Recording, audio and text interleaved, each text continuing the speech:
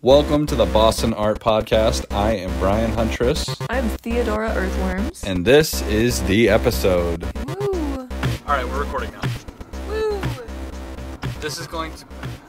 We're only going to record for a minute right now. Only a This is minute? something I want to talk to you about. Okay. Fuck, how the fuck do I get back to where we were going? We were about to go do an interview, but then the interviewee canceled. Yeah. It's okay. Shit It is what it is. We were only on the highway on the way there to the place. 15 minutes before. That's okay. I'm just kidding. We probably should have um followed up though. I forgot. I just wanted to talk to you about a phenomenon All right. that we see time and time again in the in the arts. Interesting. Occasionally in music, not as much, mostly in fine art. Okay. Tell me why there are Okay, take an artist. Do you know who David Choe is? I don't. Okay. He is an American artist. He's like LA based. He's a little like he's a little bit older, like kind of like Gen X 90s LA artist. Yeah. Very well established, really well known. Very big social media following. The guy's like been in movies, he's on podcast. Like like everybody knows who this fucking guy is. Like he is 100% known. Okay? Mm-hmm. Okay. Then and we have artists like who's like an internet artist of the millennial age An internet artist. that isn't that wouldn't be in a museum. Ghosted 1996. Whoever that is, okay. Don't know who that is. That's okay. Or I don't know. I'm trying to think. Or blah blah blah blah blah. Like a fine artist? Polly Nor. Do you know who that is? Oh yeah. Polly Nor. I love Polly Nor. Ghosted 1986, whatever you said. 1996. 1996. These are two artists that are very well known on so- social media. David Choe, like completely different echelon, wildly known, um, social media known media artists. Okay, Okay. But these people, I don't know about David Ch- Choe, but these people would not be in a museum. Okay. Polly Nor is not in any contemporary ICA contemporary art museum, probably. Yeah. I guarantee it. She's like very popular on Instagram, viral imagery, amazing fucking artist. But for some reason is alienated from and not a part of like the like western like fine art canon. Okay? Okay. But then you look at so I was looking at the at the artist catalog for some random really high-end gallery in Boston. Okay. Come on, you fuckhead. Literally No, don't say that. It's not better if you say it like that. I can't just say that. as- no. All right, we'll cut that out. You can't tell people to do that while you're driving. Sorry about that. Or ever. Shout out to the people in the audience that didn't even know that we were driving until that moment. Yeah, I didn't. I've never thought about that being a thing. Did you see his outfit? Yeah, he looked like a juggalo. It, oh, you know, maybe. He had that juggalo drip. That's Um, so funny. I was gonna say that he looked like E-boy, but Monster Energy drink core, and then I realized that exists. That's juggalo. That's juggalos. That's a juggalo. Sorry, I was homeschooled 2005. It's all I good. missed that. We, we we're cool with that. Free Christmas tree. It's that. June. I'm having a All good right. time driving down this road right now. There's a lot yeah, going on. that's all good. Sorry, go on. But Tell then we story. look at the catalog of this extremely fucking like you need a million dollars to walk into this place, All right, right? million dollars at the door. Just to fucking walk in. suggested donation. Type place, Newbury Street type place. Yeah, yeah. and they're selling Keith Haring paintings. They're selling literal Picassos. You can go in there and buy, I don't know, a fucking Basquiat type place. And then they also have some other living contemporary artists on their artist catalog. Okay. Interesting, right? Yeah. Like What- who made the cut? Well, I guess that's the thing I'm talking about is that you look at some of these artists that are selling in ridiculously high-end galleries for a shitload of money. You look them up on Instagram and they have like a hundred followers, Yeah. and you're like, what? And like, or you like see people. You go to the RISD Museum, for example, in Rhode Island, and walk around their galleries. Maybe they have a Warhol up. Maybe they have a traveling show. They have really nice stuff. They have really high end, fine art, you know, Western canon. They got all of it. And they also have a huge part of their collection is uh, RISD alumni. That's badass. Good for them. Yeah. You look them up as well, and they don't have any any traction, social media wise, media wise, media appearance. Don't you think it's strange? There are two. There are like there's many, many, many, many, many millions of facets of the art world, Yeah. but there's also there is like we like we me and you could literally have a million fucking followers each Yeah. and have tons of fucking people looking at our art every day and have people in museums and extremely high-end galleries not give a fuck. It's kind of like how tons of podcasters and comedians that are really popular could not get on a movie to save their life Yeah. because I don't know why. Like what is that? Like there's this there's this whole universe of well-known, loved and respected art and creators that are not at all associated with the uh Establishments. you know like gilded um, like high-end well, like institutions. I think you have to think about. Okay, so to narrow your question down a little bit. I don't know exactly what Like- I'm saying. No, it's okay. I get what you mean. The to talk about the Instagram or like social media, but let's talk about Instagram right now. When you think about Instagram followers or somebody that has like Polly Nor, for example, Yeah. who are the people that the, that follower account makes up? Because the majority of them are probably going to be the everyday person that is an art consumer. Like somebody that's on Instagram looked at those comics and was like, "Wow, that's sick," and followed them because they thought it was nice. Like not necessarily an artist, not necessarily an art world person, not necessarily even a collector, but they just enjoyed that content. Like the average person, right? And that is if you're thinking about like museum institutional kind of model, that's the person who's going to buy a general admission ticket, but not the person who's going to buy the Picasso. You know what I mean? Yeah. Like maybe it's a question of the audience that you're marketing to.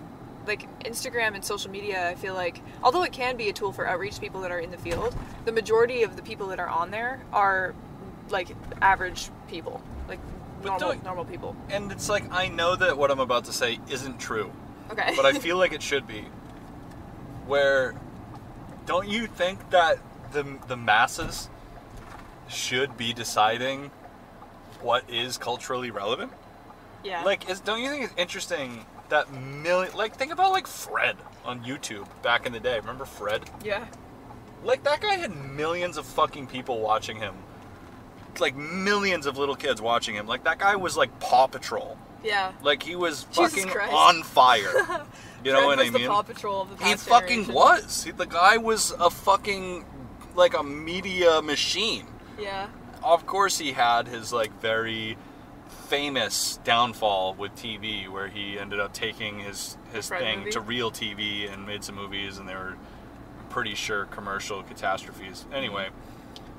But like, you know, someone like I just think it's interesting that there's so much media online that gets like billions more views with more people paying attention to it and caring about it, but is lowbrow in a sense. Not my opinion. I'm just saying it seems Yeah. like the world reflects back at it that it's lowbrow. But the things that are in these like the highest echelons of intellectual value, like these like spaces, like the that are decided by like the collections and what is there and what is culturally relevant to our like museums and the world is decided by a tiny amount of people and they may even select things that are definitively uh, as determined by the amount of attention they get irrelevant Well, I think that's a symptom not necessarily of the art world, but of marketing capitalism in general. Because if you think about that in terms of like, for example, even like what you just said about Fred, wouldn't that logic follow through that those movies would have been awesome? But maybe they didn't get marketed the right way. Maybe they weren't pitched to the right people. I don't know why those specifically fell apart. But or like thinking about selling any kind of product, like a lip kit. maybe you have like a really great product and a lot of people think that it's cool and like it, but if you don't have the right backing or the institution to make them at the like to meet the demand to have the supply, like there are certain things that you need. I guess it really depends on what product you're talking about. This isn't really a blanket generalization, but for example, when you're talking about those people that they're selling these pieces for this much money, but they have like 30 followers on Instagram, what that indicates to me is that they have connections elsewhere with not necessarily the average person. Like they're making art for the client or they're marketing to the client directly, For a very, very unique audience. which is the audience that has money. Probably. And that's cool, you know? Like, I don't know. Like, if I could. I don't know, man. Like, if I. If there was, like, some tiny group of people that was paying attention to me that wanted me to do a very highly specific thing that I didn't even give a fuck about, but I knew they would give me thousands and thousands of dollars if I did it, yeah, obviously I would do it. yeah. But that's probably not why those people make art the way they do. I mean, I don't believe that. I think in the past there was a version of me that would talk down on people like that, but I don't believe in that anymore. I think Dude, I if know. somebody told me that they would give me like ten thousand dollars a month to wear clown makeup every single day for no reason, I would. Oh my god. I literally would. Why? should be one of those why people- wouldn't you? You should sign up for like the NASCAR stickers you can put on your car for free advertising money. That would be. See, that I might not actually do. Why? That sounds like a living hell. Why like would I just bad? drove around with like door. Like, I don't know, like like, a pea Monster Energy sticker. drink. Peapod. well, no, if I could get. yeah. Peapod wouldn't be that bad. You know, actually, I take it back. If my car could be a NASCAR advertisement for just an absurd, obscene amount of random things, I probably would do that. You can. Anybody can sign up to do that. I'm pretty sure I've seen Uber drivers in some cities with like an ad thing on top of their car where it's like displaying a random ad that, and they sell ad space to people while they Uber. That's interesting. Yeah. That's a smart business model. I think I've seen that too. Actually, I never thought about it. Um, yeah, I don't know. I don't know enough about what I'm talking about right now to actually make any kind of Me neither. points. Oh, I, I absolutely don't. But This I would just be a cool thing to interview somebody about who knows more than us. overall, I just think it's interesting that there can be artists, that, and that there are artists that are internationally known and established, have great working relationships with galleries across the fucking, across the fucking world, mm-hmm. or in in extremely important places, you know, where they're literally unknown Yeah. as far as social media and shit goes. But they have these excellent relationships. You know, I don't want to even invoke the name of the Odd Nerdrum cult again because that was a fucking catastrophe No. dealing with those people. But they're a good example where Odd Nerdrum is doesn't have a fucking Instagram. Hmm. Like he has pages that are ran by people in his network that are promoting things related to him yeah. but he personally does not have like a LinkedIn. Well, I feel like But that's he's true like of a lot a- of people that are at a certain level of success, though. Like even if you think about like celebrity actors and stuff, a lot of them aren't running their own social media. Actors? Yeah, I Oh, think the yeah. exception. It's interesting because I feel like this is a generational thing too, though. Yeah. Because like, fucking, I don't know, like Cole Sprouse, absolutely runs his own Instagram. Did you Yeah. see the ass pic he posted like a couple weeks ago? I didn't see Cole Sprouse's ass pic. It was really funny. He posted a selfie in front of a mirror where his bare ass and like the back of his balls were showing in the photo. Love that. Yeah, like you wouldn't Good see. move. You know what Did I you say though? Cole or Dylan? Cole. Cole did that? Yeah. Yeah. King. Shouts honestly. out. I think he also edited his ass to be a little bigger too. It was a it was a good post. He some traction to his, his page. ass. Yeah. um, but I feel like for artists and musicians and actors that are appealing to like a Gen Z audience, it's almost critical to have like a Twitter and an Instagram, TikTok. Like you need that outreach is part of the business model versus like doing art management stuff for artists that are in like their 40s, 50s, and 60s. All of them have emails and websites. So yeah, Gen X and Boomer famous people probably are not running their own social media. Yeah. And if they are, like, have you ever seen Lana Del Rey's social media, for example? um, I have. I haven't thought about it though. She posts like a mom. Really? Yeah, like her like she like and I How old is Lana? she's like probably 50. She's probably Lana Del Rey? I bet look it up. Are you She- fucking kidding me? She's either in her mid 40s or she's 50. no, she is not. She is not in She's in like her late 30s at the most. I bet she's like 44. 50 max 44 is my final final guess. Bro, Lana Del Rey is 37. Fuck. She's born in 1985. I was pretty close. That's Gen X though. You said she's 50. Well, I thought maybe she could be a 50 year old woman. I don't think that's that crazy. Rey? I've met 50 year old. I've seen 50 year old women that like look like I don't know like that. I don't think that's that old. I was shocked because I was gonna say that she was 29, and then I realized she's probably Yeah, 29 when I crazy. fucking found out about her. Yeah. Like when I Fucking was a Grimes is probably 29. 37 is still really young though. But that's like I feel like on the other side of that, where she probably like had dial-up internet when she was like 18. Interesting. Maybe that's totally. I don't know what the fuck I'm talking about. I don't know what dial-up Never internet. mind. I'm gonna just shut the fuck up about whatever I'm talking about. But I get. I have a few comments, but Alright. it is a new thing. The boomer generation of actors, for example, like Morgan Freeman, Tom Cruise, Yeah. like baby boomer and beyond people, are either completely offline or have people running their social media for them. Yeah. And there's also this new thing happening where they're also all starting hyper uh, produced, uh, over polished, uh, terrible podcasts. Uh, like, anyway, like, but I guess what I think, yeah, actually, I don't know what my point is. I don't know what I'm saying. I agree with you. But I think boomers are usually not on social media if they're famous or they have Yeah. people running it. Gen X celebrities post like parents. Like it's not savvy social media, but they're still doing it. Yeah. Uh, Like Britney Spears style. millennial, yeah, Britney Spears is a perfect example where she's there, she's doing it, she's going off, but the posts are weird. I love Britney. We love the posts, but they're they're weird posts. That's okay. Nothing Yeah. wrong with that. And millennial core, it's there.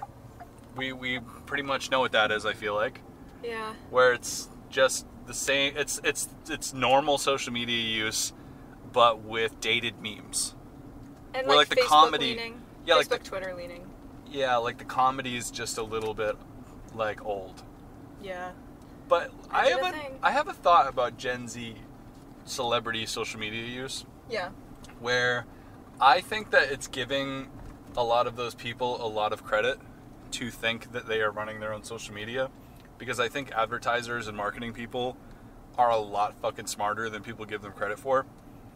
Where there are probably ad agencies and like management companies that could run like a dead person social media as if it was really the person. I think that's true, but I You think know? with a lot of the platforms that we have, like, even if somebody's telling the person they have to post a certain amount of times a day, or it's like a manufactured post to look like whatever, like, I, for example, I always use Doja Cat because I feel like the like inst- the like Snapchat private story aesthetic that she has on her page is definitely like an on-purpose thing at this point. Just because an average person, I feel like we get burned out doing that consistently for so long. Like, you know Not what I mean? if you were getting paid a, a fucking bag. Well, that's what I'm that. saying. I'm oh, saying yeah. it's part of it's like a thing, but you can't have those posts without her filming them. Like she's part of it. She has to do it. She's like filming them in bed. yeah, it's not like a photo, like a paparazzi picture with like a caption with a heart emoji that like Drew Barrymore posted. You know what I mean? Maybe what we're getting at here is that being a professional artist that's dealing with like galleries and museums across the globe, but you have like one follower on Twitter is well not Twitter, I delete what I just said. Let me start again. Maybe being an art a professional artist with gallery relationships and you're selling art for obscene amounts of money and you don't have any social media activity at all is a completely different job versus if they were focusing on being essentially an agent a marketing an agent of sales. Hmm. A like like a like a marketing henchman Yeah. an influencer. You know what I mean? Like that's what it means to have a huge social media following. because that is what the people are leveraging. It's the fact that like, hey, what's up? I have like eight hundred thousand followers and, and an insane amount of engagement. Like, give me a shitload of money, and we'll sell men's soap together. And that's the thing that you have to think about too is when you're talking about those numbers, having like there isn't really a parallel for the Instagram follower thing in terms of like marketing. That's a little more behind the curtain, but to be somebody that is like to have that many followers on a platform like that is showing that you have public appeal. That like the average person or the average consumer likes what you do or make. Which isn't really necessary if you're trying to sell only to celebrities or to like ultra famous like if you have a clientele that's like all lawyers in New York, who gives a fuck how many Instagram followers you have? They're not trying to promote to like random college kids. Yeah, like maybe the person with a thousand followers, maybe all one thousand of them are extremely rich New York lawyers. Exactly. like the random selection of like 500,000 people on TikTok or Instagram, the reason that's cool for people that are like teen act teen movie actors or like pop stars or like micro celebrities or influencers is because that target demographic is the everyman that is going to be on Instagram. That isn't always valuable to everybody. Hmm. It's also good for people that are at a smaller scale because it shows that this many people are invested in your work and what you do. Like if you're trying to sell a book or you're like trying to get a comic off the ground or you're trying to like if you have a pro- project that's public facing, it's really valuable to have those numbers behind you. Like our podcast, for example. But if you're doing something that's a little bit more niche down, having the website and the email and being able to leverage specific connections and having a CV that's bulked up is probably more valuable. Could it have something to do with the price point of you the product you're associated with, where it's like if, like I wonder if there's a way you could be successfully marketing yourself to a really high degree without really even having a social media following because you're selling extremely high end products versus if you were selling things that were a normal price like if you were selling an like an energy drink you know what i mean what, that costs three dollars like it would be foolish to be trying to market that to a hyper specific high net worth small demographic It'd be like why would you be selling a tiny cheap energy drink to like only a specific type like unless it's like gold dust Yeah. fucking water so i don't know like so like i wonder like if you were selling something that was cheap that needed to be sold in mass in order to yield a profit you would have to be marketing it to a, a fucking huge group of people versus something like fine art which is going to be sold maybe once or twice in your lifetime uh, for an insane amount of money Yeah. like Well, you also have to remember that some of these people, like the people that are selling things to high-end galleries, not every artist is full-time in the studio artist. They might also be doing other stuff. So if you think about it in that sense, like if you're like a gallery coordinator or like you're a gallerist and you sell pieces to clients and you also make art and sell it through these places, you might have connections through your business that bring you there, but you might not have like a consistent studio practice where you're making like TikToks and like time-lapse videos and you know, you might not be in there every day. You know what I mean? So there's also that element of maybe they're just not in the same exact niche. But if you think about it from the sense of like, if you were a banker, or if you were like, I don't know, somebody that was like in the finance sector, real estate, or something like that, you could have an Instagram or a TikTok, but you don't really need one. You would be on LinkedIn, you know, or maybe you would be doing everything over email, depending on, I don't know, I don't fucking know how that works, but. I think a common misconception that I'm realizing that I've had through, through this conversation is that Instagram is the platform or TikTok is the platform that like quote unquote everybody's on. But something that you have to remember when thinking about marketing and outreach is that it's really easy to think that the demographics that you're in are quote unquote everybody.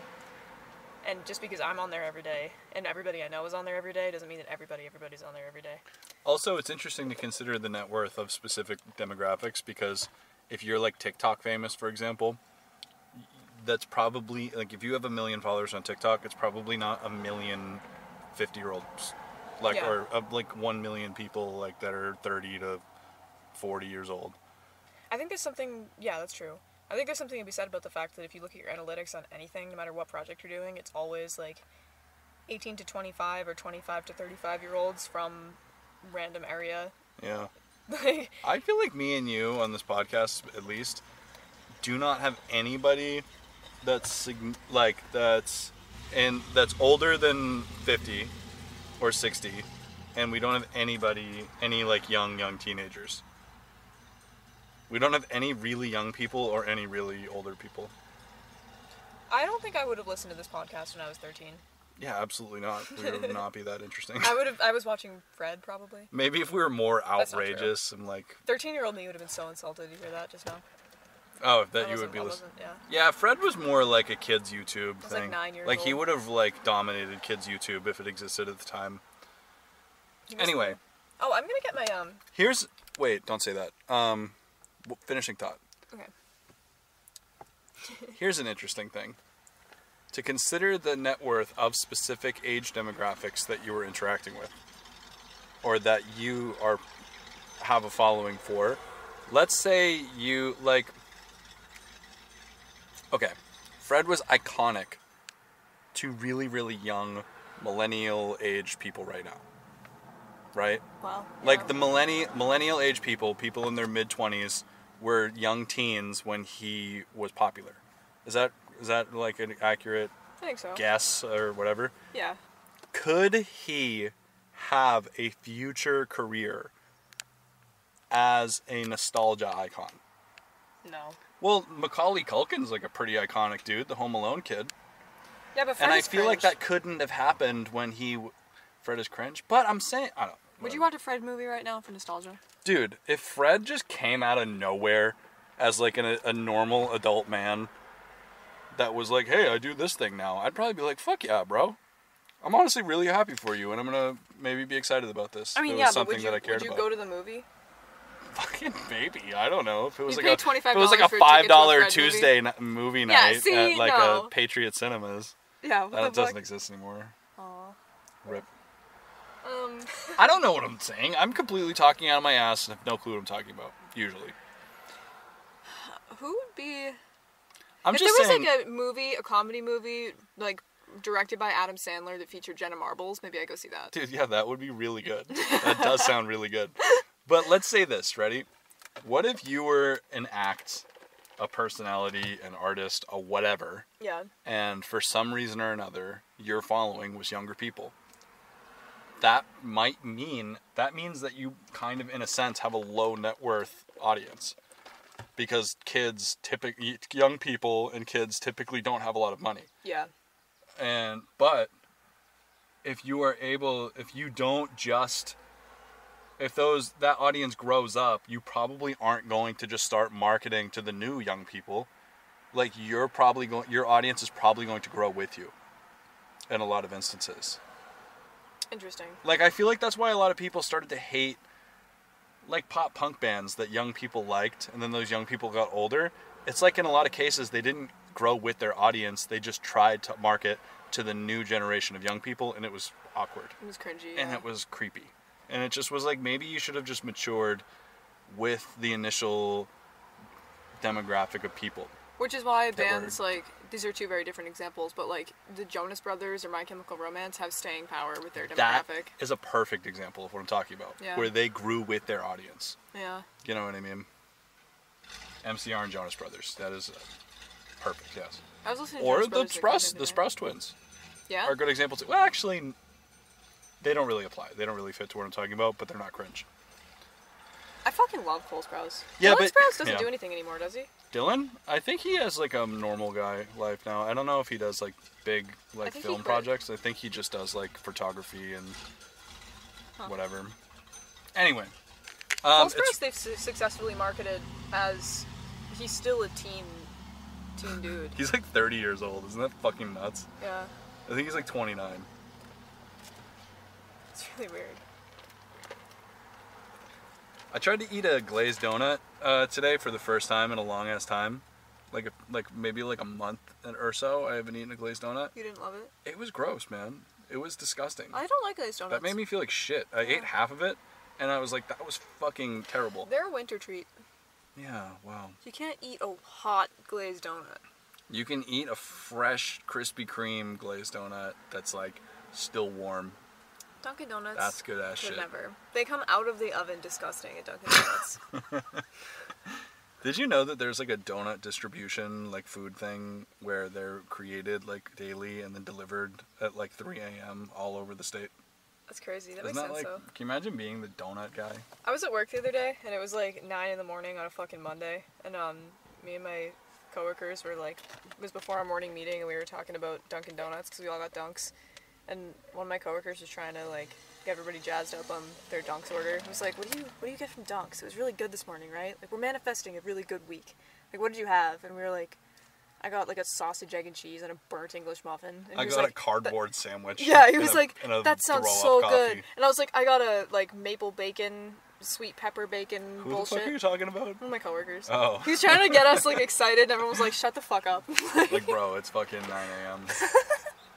no, yeah, like, I'm gonna die. Stop. It was really funny. It was cute because he was completely sincere too. It wasn't Yeah. just like you know. Damn. Uh, so, do you think maybe we should pause this recording, move on to the next thing we're doing now that we're not doing that interview? How long is this recording? 31 minutes. Just about. I'm gonna go get my wallet, and we can record on the way to Boston if you want. Yeah, I'm down. Okay. Cool. Right So they're tightrope walkers, or are they slackline partakers?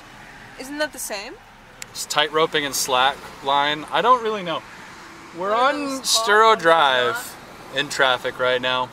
Yeah. It's like a few. good old days. It's a few hours past the last recording we had about Fred from YouTube.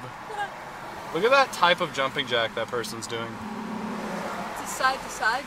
It's like a jumping jack, but no legs. It looks like a sim dancing.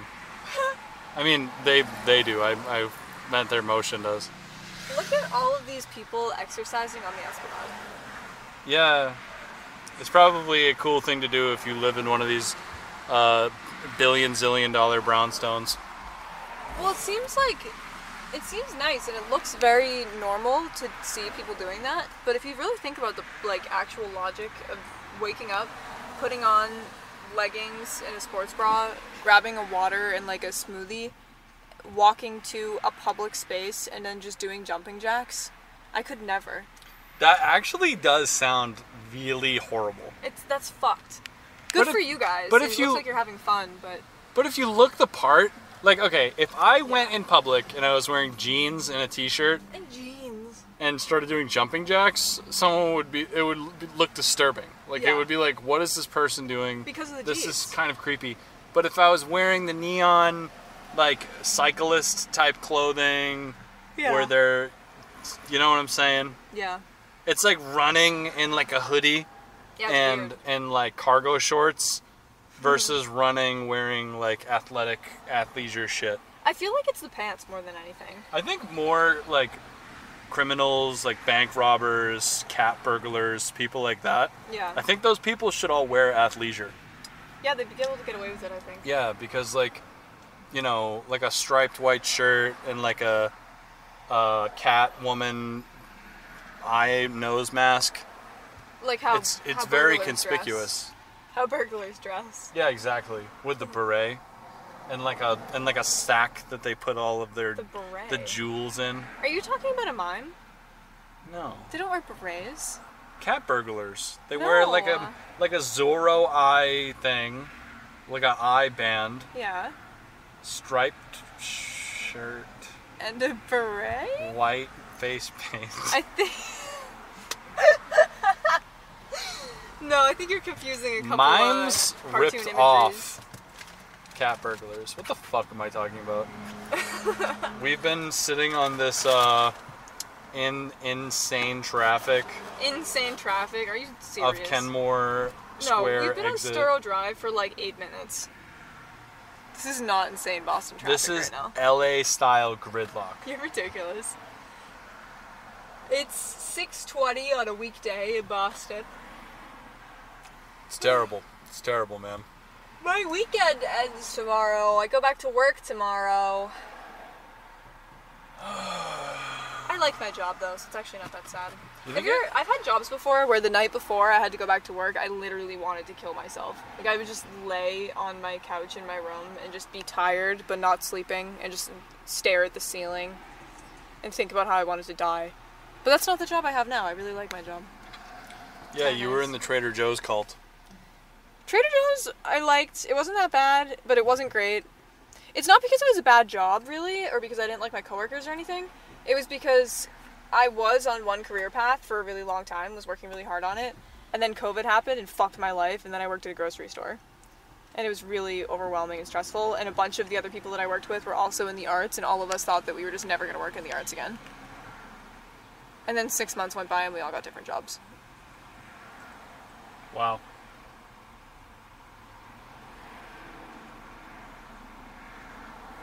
Yeah, I'm glad you loved that story. That was great. It was really exciting. Thanks. No, it's not a bad story. thanks. It's just like a dismal one. yeah. It was just bleak. Because it wasn't even a fun Trader Joe's either. It was the Winter Hill Trader Joe's. What do you mean? Like, it's just in the middle of a. Like, Winter Hill sucks. What the fuck? And it's right in the middle of a fucking mall. Like a really high end, bougie mall. You know, you know the Armory, is that what it's called? um. Or the fucking. The word. The. Assem- Assembly? Assembly. Assembly. Assembly. Yeah. I was at the Assembly Mall. I like that place. That's the biggest Trader Joe's in like the state, I think. It's just so. Ugh. You. Ugh. Like every time I'd be there, I I just was in a parking lot. You know what I did one time when I was Assembly there? is kind of a bummer. This I was- like the Trader Joe's. This was pre-vaccine. I was skating around in that parking lot one night, uh, waiting for you to get out of work Oh. because I was picking you up for some reason. And I went into this area where it was like a bunch of tents and parking barriers or whatever, like Jersey barriers. And I was skating and like messing around, and I was like, "What is this place? What's all this stuff doing here?" Oh yeah. And then I just looked at a sign and it said like outdoor COVID 19 drive through testing site. yeah. And I was like, ah! And then I like left because I was You're like no. thought that I would like get miasmatically contaminated. Oh look at that. There's a window Miasma. with a cat, a cat bench in it. I thought there was a cat, but there's not a cat. Huh. Fuck man. I would literally cut off one of my fingers to have an apartment right now. You would cut off one of your own fingers to have an expensive ass lease that you can't afford in a place that was filled with rats and and everywhere smelled like pasta. Yeah. I don't think that's a good trade. Like literally like removing Well, I was a thinking. digit. I was thinking in this scenario that the person would give me the apartment. like it would be free. Yeah. All right, now we're talking. Now that could be a good deal. Look Like free housing for life. plate that says Boston Red Sox. It's weird. Oh god. Ball Sox. Dude, you ever just wish that you could just Grand Theft Auto like drive on like the grass and in the breakdown lane and just go around cars? Are we still going to the library? Or are we just That's going the home? location in which what that was requested. Oh, it's we only were nine going away. home, we would be on Route 3 by now. Well, I we were only. I didn't know if we had a ton of traffic to get through, or if it's only ten minutes away, then we're fine. But if we have a long way to go, then we're fucked. Yeah. But we don't, so it's okay. Hmm. Da, da, da. This area looks dystopian with with respect and love. I am Seems tired. to be a full-blown camp beneath the bridge. Hmm. Oh man. This is a horrible episode. Should we stop recording? Maybe. You're just like, yeah, it is actually. Shut it off. No. It's a good one. It's a good one. Turn it off. Really, for we'll, real? We'll finish later. Should I even include this? Should I just cut this whole thing? No, this is good. This is a little segment.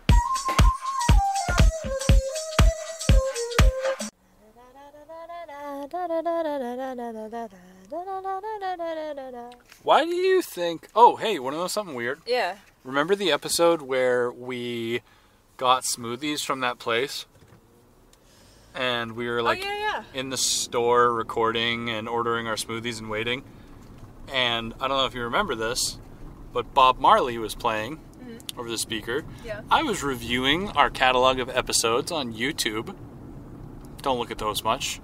But that whole episode got blocked in all countries Because Bob Marley was in it? because of the Bob Marley song playing in the background for like like 10 seconds. That sucks. Yeah, I it hell? had me it gave me the option to try to cut it out. So I like tried to and I couldn't really use like the YouTube manual edit thing and it was taking so long to load that I just was like forgot about it and then like closed my laptop and I don't know if it ever like fully buffered and and went and saved. I don't think that's like a critical episode in our catalog, so it's probably fine, but that's annoying. I'm also pretty sure uh, nobody really listens to this podcast on YouTube. Yeah. I make it available just because, you know, I don't, you know, that's it's cool to have it on YouTube. Yeah. Uh, also, it doesn't seem to include the ads on YouTube. Interesting. I think it might be an ad-free experience on YouTube. That's kind of nice. That might not be true though. Maybe we're doing a service to our YouTube Red listeners. Yeah, shout out to YouTube people. Man, I'm fucking burnt out as fuck. I'm so tired. Me too. We did a lot today. And I'm really glad that, as hard as it was to record yesterday's episode, I'm really glad that we powered through it and finished it. Yeah. And even if today's episode that we're making isn't like as exciting as interviewing a new person would have been, I'm glad that we got to do that. Do we want to talk about all the stuff that we did today? Yeah. We haven't given an update. Oh yeah, we uh, drove around. Oh, We did a lot of shit. We went to the Harvard Art Museum for like an hour. I love the. Harvard Art Museum. Yeah, it was really nice. It was cool. Um, we went around there for a bit. Um, I did a sketch of this painting that I really like, the Demoiselle. Um, I forget who made it. Wait, I wrote down.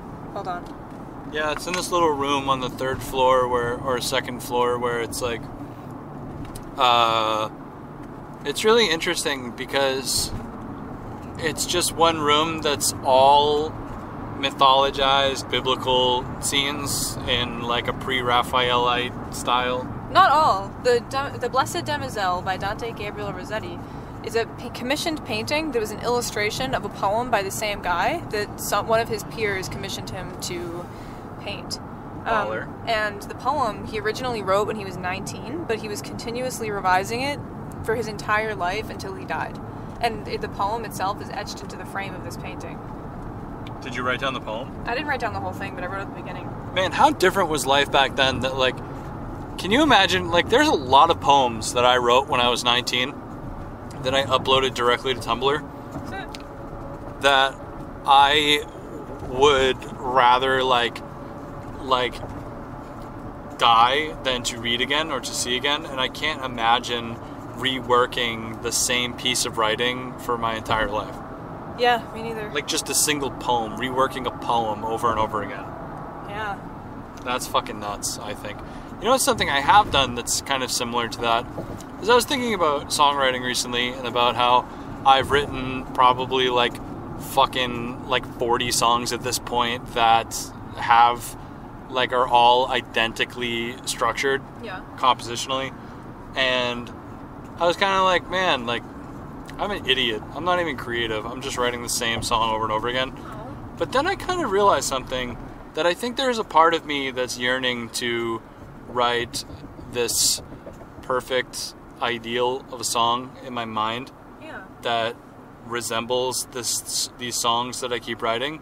But I think those songs are just failed attempts at me trying to write this idealized song in my brain. What do you think the idealized song? I don't know.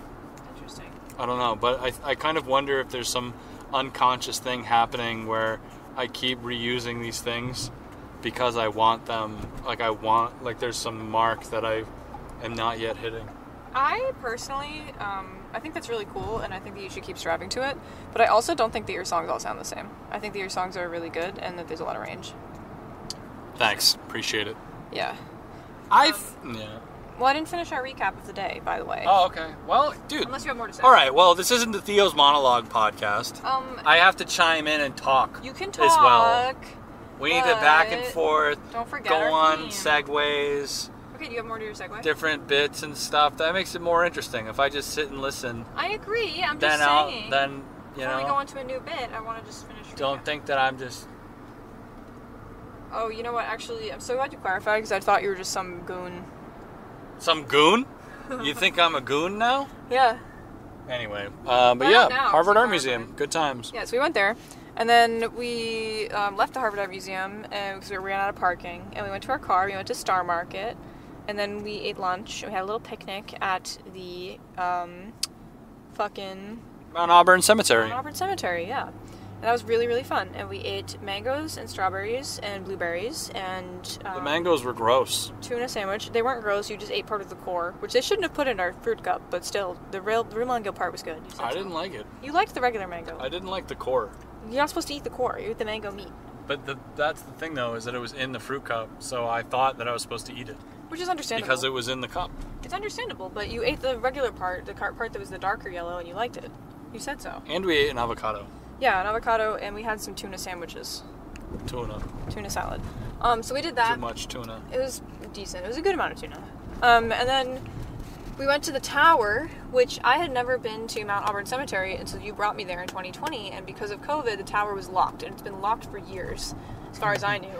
Locked. For locked for years. Um, and then we went up it today for the first time, and it was really, really cool. And we were really high up, and we could see everything. It was beautiful. And then when we were there, we were talking about um, all the different places in Boston that we could go and how pretty it was. And we were like, damn, dude, what if we go to the BPL? I bet they're still open. So we drive all the way to the area where the BPL is, and then we didn't go to the BPL. Um, for kind of no particular reason, we got kind of hungry. It was hard to park. So we went to the Common. I think we accidentally wound up at the Common. We, we went to the McDonald's, the Boston Common, and then we um, went to a bench and we sat on the bench and we ate our McDonald's and we people watched and talked. And this lady came up to us who was a retired biologist, retired biology professor, I think she said. And um, she was talking to us about squirrels and dogs and cats. And then she just went on like a monologue for a while that was really interesting, and then she left. And she didn't let us speak, but it was kind of nice. Yeah, I tried to ask her if she lives in the area, and she just continued. She, it it was like I, I didn't even speak. I don't think she heard you. I think she didn't hear me. She was just in a in a daze. She told this story about um, she was talking about animals and empathy and like their understanding and like the scope of emotion that animals have. She was talking about when she was a little girl and she was like ten. Her mom told her not to touch the cat when he was in the litter box because he would be offended. She also said she didn't say it like that though. When she first said it, she said, "My mother told me not to touch Daffy in the pan," and I had to work out what she meant, which took me a few minutes. And then yeah, I had completely tuned out for this whole discussion and was just like, I can't listen anymore. you missed a really good a really good monologue. I was like, I can't listen to this anymore. I'm done. And She then I was- spaced out. You missed. You have to listen for the, the for the gems when you're talking to strangers in public. And um, she was talking. She was like, "My mother told me I couldn't bother Taffy and Daffy in the pan because I would offend him." And I was stunned. I was like, "How could I offend a cat? You can't offend a cat. Cats can't experience offense." That implies so much about cats to say that he would be offended. So me and my brother decided to conduct an experiment because I'm a retired biologist, of course. This was early in my career. Ha ha ha. But we pointed at him and we laughed at him and we said, ha ha, Daffy, Daffy's in the pen. And that cat slunk away, and I know that cat was offended. If anything, if ever a creature on this earth has been offended, that creature was offended. And don't forget, dog spelled backwards is God. And I was like, wow. She was like, yeah, have a great day. And I was like, you have a great day too. God damn it. That just made me tired again. I'm You just kidding. I don't just understand how lovely it was. I have to tell you something. what do you have to tell me? When we were driving down Storrow Drive and we were getting off the exit at Kenmore to go towards the BPL, Yeah. I had already subconsciously decided that I didn't want to go to BPL and that we were going to park near the Common and go to McDonald's. Uh, I kind of figured because I wasn't even paying attention. I don't know why I wasn't paying attention. And then But it we just suddenly didn't go to the BPL. We drove by it, went BPL, and you just kept driving, and I was like, haha. And then we were right in front of McDonald's, and you were like, "Wait, are we going to McDonald's? I don't want McDonald's." And then I was like, "Where else are we gonna eat? Everywhere is way too expensive in this area. What are we gonna do? Go to Tasty Burger, I don't like Tasty. Burger. Shake Shack? I like Shake Shack, but I don't know if there is one right there actually. They're nice, but it's just like, is it nice enough to pay like twenty-two dollars for a low quality thing? I'd rather buy a low quality thing that's cheap. It's not that expensive to go to Shake If I'm gonna eat shit food, I don't want to pay a lot. Fair. I Shake want to eat expensive not- shit.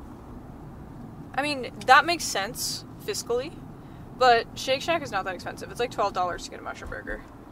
Yeah, yeah, it's probably it's probably not that much. I did spend about Probably eight dollars being overzealous McDonald's, about though, my so- frugality. Well, it's okay. I love that about you. Uh, uh, I spent like six dollars. You can go coupon McDonald's. because I showed you a coupon. Yeah, you know what's funny? The coupon was for the thing I was getting, but I had picked it without selecting the coupon, and it was going to charge me the whole thing. And then I was like, "What the fuck?" That's why you gotta check the daily deals. God, You think I'm not frugal? Yo, you know what would be crazy What? if we topped off this day, finale of the day, Yeah. went bowling. I thought you were frugal. You wanna go fucking bowling all of a sudden? No, actually, maybe I don't. That would be really fun though. Would it? Do you? Should we? Should we go bowling? I don't know. Let's let's put a pin in that one. Let's table that one Until we get to the South Shore. until we're near a bowling alley. Where the fuck are we gonna find a bowling alley? Fucking in every single fucking town What? ever. You would really think that that would be like an antiquated business model by now? Bowling alley? Bowling is a timeless American pastime. Is it American? I don't know. I don't think it is. What is it? Fucking French? Why are you saying that like it's fucking out of the question? Bowling doesn't Was seem French. French? It doesn't sound like a French sport. I mean, it seems like it has a lot in common with like like um isn't there another one that's like really similar to that? Uh, I was gonna say cricket, but I don't think that's true. cricket is. L- Yeah, what the hell is cricket? Isn't cricket like kind of like a fusion of like baseball and like rugby? Yeah. Is that fucking totally stupid? I don't know. What about um? You're thinking about crochet? Not crochet. Croquet. Croquet. Croquet. I think I am. Croquet. So it could be English. Is cro- croquet? Croquet is like a 1930s transatlantic activity. Yeah. I don't know shit about shit. Yep. Anyway, um, so it was a pretty good day in Boston today. We didn't do anything that we planned, but oh, also I worked a bunch in the morning, so I was really happy to do fun stuff. But you brushed your teeth first. I did. And that's what counts. Yeah, I brushed my teeth first, and I woke up in time to have a calming morning before I started working, and then I got all my work done super fast because of that, because I was prepared. Good job, Theo. Thank you. That's a big deal. That is a big deal. I talked to the podcast about that yesterday while you were pumping gas. Yeah. They don't know it was yesterday, but I Ah, yeah. Yeah. Yeah. Ugh, I'm so tired. Hey, okay, I need to pitch something to you, What do you pitch to me? and I would need your help with it if I decided to do it. Okay. I feel like this would be simultaneously two things. I'm embarrassed to even talk about it on the podcast, but I'll let it in the podcast listeners be my confidant in my idea because I feel like this would be a really great way to promote my art, to get word out there, and to afford myself uh, undeserved, possibly credibility. Okay. Here's what I want to do. I'm going to produce and create a mini documentary Yeah. about myself that I am not in at all. What? No B-roll of me, just like pictures, pictures of my art and interviews with people who know me where they are asked questions like what do you, what type of art does Brian make? Like uh, Banksy? Not Like Exit from the not not make it look as though I have some type of secret identity. That would be so funny because your art name is just your legal name. Right, but but make it so I'm interviewing people who know me and have like a title card where it says like Jim Smith, art collector. And then Jim is like, "Oh, you know, Brian like makes this like really eh, blah, blah, blah, blah," and then like film some fucking interview with that person and you. then go, "Yo, thank you so much for doing this. I know this was weird because I was standing behind the camera and you were talking to me as if I wasn't there." but thank you for doing this interview about me. This feels really narcissistic and weird. But thanks. It would be better if I did it. See, that's where you would come in is that I and I would want it to be the type of interview where it's like the interviewer, not that I wouldn't want you to be in it, but I it would it would be edited in such a way that the interviewer is not a part of the segment. Yeah, they just ask it and they write it out. phantom host type situation. Yeah. and and I feel like if I did that and I interviewed like three to five people, had like that David Attenborough British art documentary type of narration, uh, like a biographic narration, where it's like a slideshow of pictures. Maybe I'll make the pictures black and white to make it feel more timeless, and then have paintings, and it and then. It's like and Brian like blah blah blah blah blah blah blah what you know blah blah blah blah blah blah blah and then it cuts to an interview with someone and then they're like you know it was such a crazy time you know what i'm saying Yeah. like basically rip off the exact format of every youtube every documentary that's free on youtube take the format completely take the aesthetic tone of it take all of that rip all of it off and and and, and curate the footage that i've taken of people that know me and fit it into that style I think that would work really well. upload it to YouTube. Brian Huntress, behind the art, in parentheses and all caps, documentary. I will help you do that if you make one for me too. Yeah, uh, why not? But I think that that's what needs to happen because, like, I think as an artist, if I can make promotional material about myself that the viewer doesn't really know or it isn't immediately obvious that it's just something I made, Yeah. to promote myself. Like I'm talking self promotion in disguise. Self promotion wearing fake glasses and a mustache. You know what I mean? Yeah.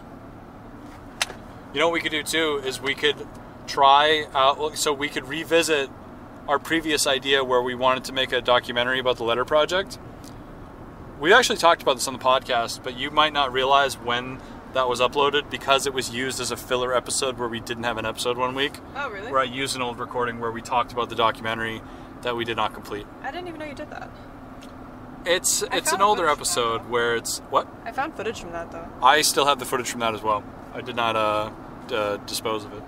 Oh, maybe it was on your computer. Was it the time that I was using your computer for um, FX stuff? Were you going through my files? No, I was saving images and putting them in spreadsheets. Maybe I just found it in your downloads or something. I'm just kidding. I didn't really care. I saw the thumbnail and I was like, oh, Hey, you're drawing. yeah. I didn't notice. I've been drawing for like five minutes. But yeah, I just think that that would be a really interesting thing. I would do all the legwork to set it up, obviously, and uh, you know, procure the equipment and process the the footage and whatnot. Yeah. But I just think that that would be like fucking dope. Like Yeah. that would be so like it would be just clean as shit. And it, would- it's one of those ideas where you tell it to people and they're like that's kind of stupid. Like that's a little weird. Like you shouldn't like that's like making your own Wikipedia page. But once you actually do it, the same people who would say that's kind of weird and dumb would be like, "Fuck, man, that was sick. I Yeah. should have done that." Yeah, I think that's true. Um, But yeah, so don't don't tell anyone, podcast, Podcast. listeners. I'm only sharing this with you because you guys are a hyper niche audience that probably knows everything about me and Theo, but you are not at all the main. You are a small portion of the audience, and that's why we love you. of the main audience. Yeah, like being the world. Yeah. The I'm insane. Life. Um, do you know that we've talked about this before? What? Not this specific idea, but making a documentary about ourselves. I don't know. We talked about this like I know. We, months ago. I feel like we've had this idea before in different forms. Not this specific. Gotcha. But I, I just really think that for I think for my I think what I from my perspective, I think the only way that it would look good, the only way that it would be like fucking nice is if we you know the phrase hide, hiding the hand? Yeah. right? Like for for other for if you don't know, the idea in a painting of completely disguising brushstrokes so that you can't see the maker's marks. You know, and if we could make something documenting our artistic vision and what we do and these things we make, but you hide the hand in your media so that it doesn't look like you just slapped it together to promote yourself. Yeah, I like that. Interesting. Do you feel car sick right now? I actually don't, but you were just drawing, and I feel like a lot of I've heard a lot of people say that that when they look at laptops or watch movies in cars or read books in cars, they get Right. car sick. I felt fine until I stopped drawing and looked up, and now I feel like I'm gonna fucking vomit. Oh shit! Oh my god. Are you No, I'm good. I'm gonna I'm gonna adjust in a second. I just you're totally right. I was focusing on so I'm doing a pen and ink like little cross hatching thing right now, and I think I was really hyper focused on that. Oh. And then I just looked up and we were in motion, and my brain was like, "What the fuck?" Ugh, yeah. It's all right. I'll be fine. Um, it's already going away. I think the water is on the floor in front of you. You can have some, but if you could grab me that so I could take a sip of water, awesome. okay. I just was gonna ask you for it anyway, but then I felt bad asking you for it because I figured it sounded Um, like. Oh wait, I have it. It's on my side. I hate you. I was wrong. I hate I you. was mistaken. Do you want some? no. Okay, sorry. I thought you were gonna be like, you can have some water, it might make you feel better. And then you were like, can you give me the. It? I'm sorry. I was going to ask before that. Yeah, whatever. All right. Look at here's my little leaf. Uh, I love it, but I can't really see it very well. You already saw it. Okay. You got it right. Yeah, because it blew out of your hand, and then it landed in a patch of grass that was fenced in by little landscapers' ropes. And you were like, I lost my leaf, I can't get it because it's in the restricted area. Yeah, I couldn't go in there. And I was like, Theo, the rules aren't real. And then I climbed into the restricted area and retrieved the leaf. That's why we're homies. Yeah.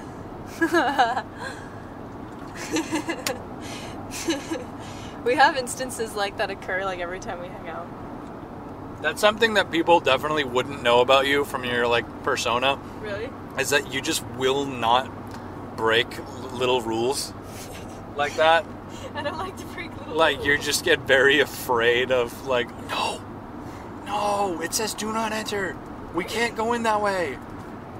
That's the exit. Yeah. I, it's not that I'm scared. It's that there's an established order of things, and if there's no need to violate it, why get everyone's feathers in a twist? I like that. I like that. Uh, that mashing of idiom. What do you mean? Feathers in a twist? Yeah, that was a good. Well, if you twisted just- up a duck, you probably wouldn't like it. I don't think any duck would like being twisted up. Yeah. That sounds like duck death. Exactly. Um, Meanwhile, you, on the other hand, if we're blowing up the same idiom or just like out there kicking ducks, I, we oh, were- I am not even twisting them. I'm kicking them in, the, we were in their necks. We were driving earlier. It was when we turned the recording off. Oh it was my like, god, I forgot about that. It we turned the recording reflex. off because it started getting. I don't even know what you're referring to. I was gonna generally say that you were just screaming "fuck" every couple minutes and then giggling after. I was I being aggressive. Driving, slamming on the horn when nothing was happening. We were going through an intersection. You had a green light and there was nobody in the road, and you were just banging on the horn. People want to be in car accidents in downtown Boston. Like it's like people want to drive in front of you and cut you off or like violate your personal bubble and fuck up your life.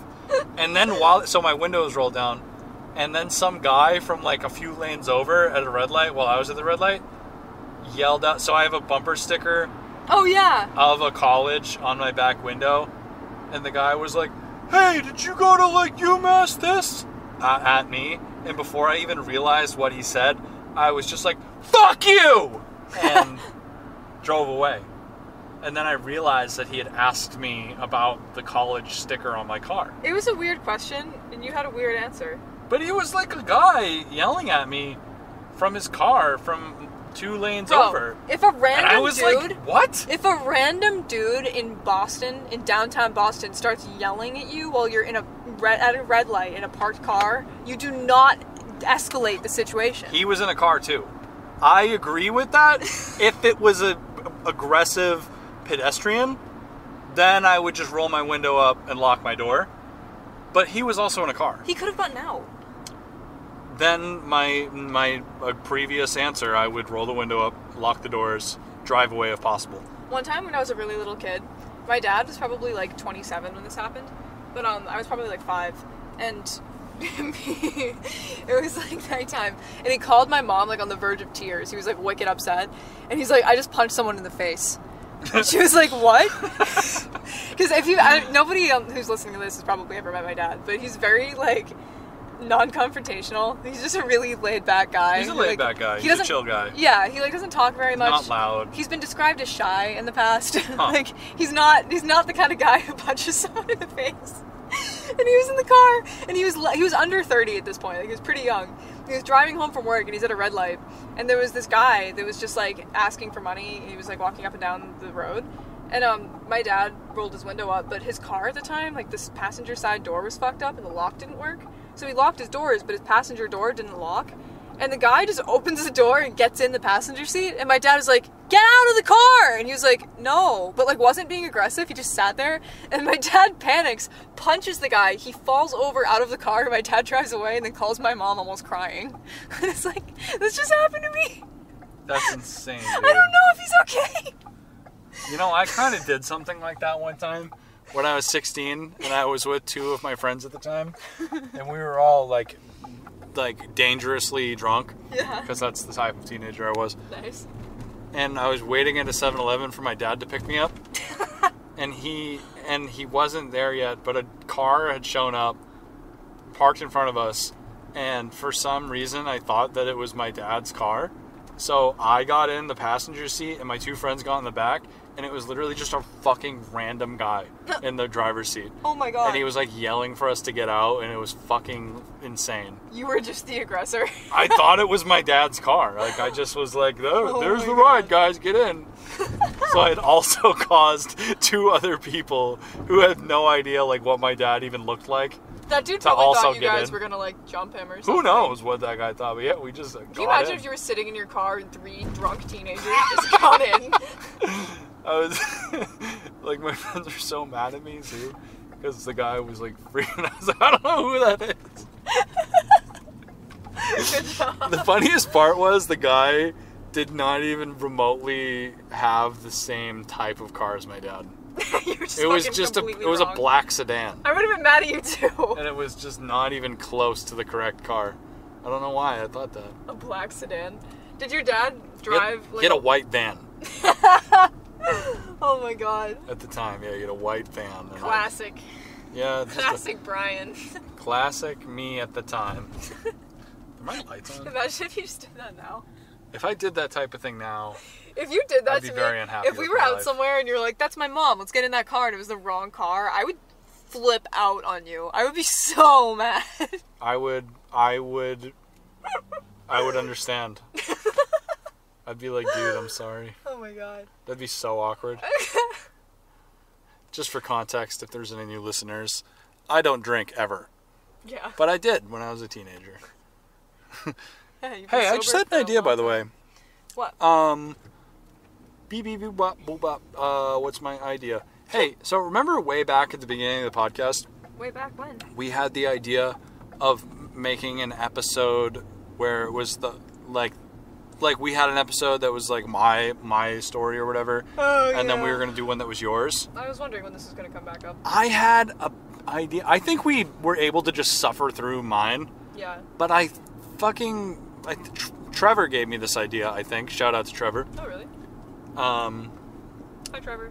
i don't know how or but i think i absorbed that from that universe but From the Trevor universe. Yeah, from something to do with Trevor or Bullpup. But we should bring in a third person to guest host and No, have you you, already- be the subject. You already talked to me about this idea, I think, on a different episode, and Oh. you said that we should have Trevor do it. we should, I did. Yeah. That's well, why you're thinking of that's Trevor my right now. idea again. I'm bringing it back. You and Trevor could interview me. That'd be Yep. kind of fun. Yeah, Weird. Trevor would do that. Well, uh, you know what would be funny is if we don't ask, we just don't even ask him, but we just let this air, so he hears it, and then And then wait hit for us the up. message. and then and then we'll be like, all right, let's do it. This will be the us asking. This will be us letting. that feels rude. I know we probably won't actually, but that would be funny. No, we're Um, probably gonna forget that we did this, and then he's gonna message us and be like, "Hey, Yeah. Yep. Um, so yeah. I should get gas now. do yeah, do get gas. Because I'm gonna be really stressed out if I have to not get gas. I hope I have gas in my car. I forgot about We could that. check and do that too. Uh, fuck. Because do you have work, right? I do have work tomorrow. Okay, so we'll we'll take care of that. Make sure you're good. I was gonna say, there's another idea that I had just now. I forget what it was. Whatever, I guess. Baller move. Baller move. You know what I did to myself the past like few months? I started saying baller ironically. Like for some reason, like I just like baller like like as a joke. Yeah. And now I say it every day. You do. You do say it a lot. And not as and I'm never joking. I'm being serious when I say it. Baller move. Baller. Yeah, that's baller, dude. Like what the fuck am I doing? I've recently Is this started, 2000 fucking 7? Am I serious? I've recently started a new like mental tick. I saw this um this TikTok that was like this girl was like whenever anything happens to me I just think fuck it we ball and it was just a bunch of I love that. incidents of things happening and her being like fuck it we ball and now anytime anything happens in my head I'm just like fuck it we ball but I never say it out loud I just have a moment where my face probably goes blank to the third party viewer and I'm just thinking that but you can't tell that I'm We're adding that to our lexicon. fuck it We're we throwing ball. that in. We're adding that. I said it a couple times recently, and you just went baller, and neither of us talked about it again. Yeah, like, see, that's because that I'm still because I'm doing that, and I can't stop. I like when we have this like ADHD echolalia, where I say something fucking dumb, and you say something kind of similar. It's also fucking dumb. We both think about the thing we said, and then forget that we both said it.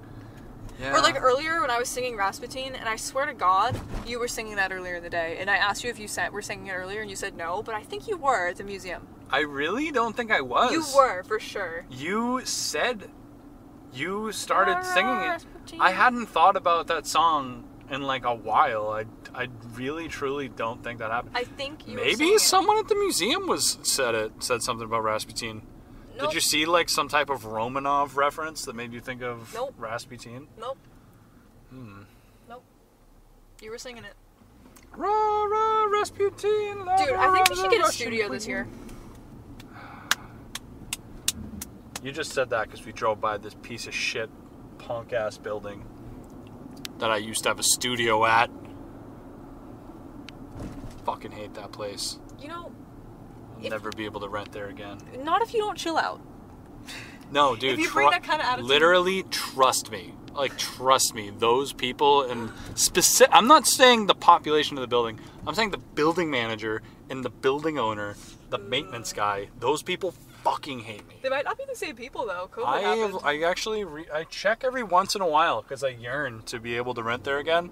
And that be really person, nice. the people still work there, Damn. and it's owned by the same person. Damn. It's a very, it's a, it's a deep regret. Fuck it, But we fuck that place. Fuck it, we ball. Fuck it, we ball. Fuck it, we ball. Ruining connections permanently, Maybe I could- irreparably, I could fucking up my reputation. I will rent there, and you'll just come with me. Fuck that place, man. Fuck it, we ball. Fuck it, we ball. Um, but, no, I really think since we can't afford um, an apartment, we should just get a studio. That's. uh, Fuck it, we ball. Fuck it, we ball. Uh, I've been organizing my paintings again. Uh, just trying to catalog and archive everything Yeah, because that was a project I was working on last fall yeah. that I uh, ADHD Oh, yeah. brained and let it fall to the wayside and did not complete it. I think because my cataloging system was just completely flawed and not working, and I realized halfway through that my reference system and the way I was titling everything and trying to categorize things was not working Interesting. and was. What was was wrong with it? I was just basically writing in a notebook. I would write down some made up random title for a painting. Like I'd look at it and I'd be like, guy with teeth with blue. And then I would write that weird title on the back of the canvas and then and Oh, then put it no away. Image to go with it. But there was no, yeah, like it was just so confusing. I was like, this is a stupid fucking system, and I, this isn't working. I don't know what to do now. You should make the same exact thing, but make it an Excel spreadsheet with images attached. The thing is, I have like literally like 1,000 fucking paintings. Well, they don't have to be high quality images, just like a cell pic so that you can see it and know what it is. I know, but it's just very, very, very overwhelming. It is very labor intensive to do. So, hey, my sticker's still in that trash can. Uh, nice. Super only, fuck you. It's all super old. Super only, get fucked. 5.30 a gallon. Did you see that? Somebody put in a dollar ninety-five of gas and left. Yeah, because they probably went, whoa, fuck, super only? No. they got like less than a quarter of a gallon. Do you think they ran out of regular gas because it's only four bucks here? Yeah, that could be it. They ran out of fucking gas. Dude, fuck. Sometimes I forget that we're in a global crisis. We're in like a global like supply chain recession. Markets are fucking crashing down. Everyone's dying. That's my favorite thing about being an artist. It's like the entire world's been going to shit for like longer than this, but like three years dramatically. And I'm just like, how can I get rich from paintings? what can I I paint and make cool? Yeah, me too. I'm gonna change the world with my pictures. Yeah. But I really think that. I will. Yeah, I'm f- I'm fucking I'm straight up fucked in the head. And I believe that. Same. And you know what? If if other people don't, I don't I don't even fucking care cuz you believe me, I believe me, and maybe the our listeners believe us. Maybe it's You like better believe in us, home homies. ew, six eighteen a gallon. No, it isn't really. Wait, oh no, that's that that's that's like plus or Ew, whatever. four ninety no, you're looking at gallon. the diesel price. Still. Why, Twenty cents more expensive. dude? I sent you money on Venmo for gas today though, because we've been driving That doesn't make it better. You have like a little bit of free gas. That does a Not really. I used the gas that I had, and you Venmoed me. That's That's the same. You're you to move the starting mark and it feels better. No, it's, I'm not actually complaining. I'm being dramatic. All- I- oh, I don't.